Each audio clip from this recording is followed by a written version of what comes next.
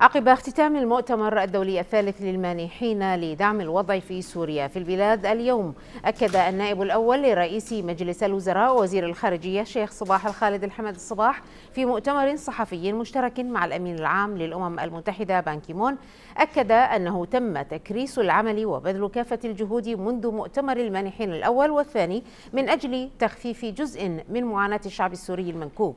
وها هو المؤتمر الثالث للمانحين قد جاء استكمالا للمسيرة الإنسانية. أضاف أيضا الشيخ صباح الخالد أن سمو أمير البلاد حفظه الله ورعاه رحب بدعوة الأمين العام للأمم المتحدة باستضافة هذا المؤتمر انطلاقا من إيمان دولة الكويت بأهمية تقديم المساعدات الإنسانية والإغاثية للدول والشعوب. وضرورة المساهمة في تخفيف معاناة الشعب السوري الشقيق من قسوة الظروف التي يعيشها.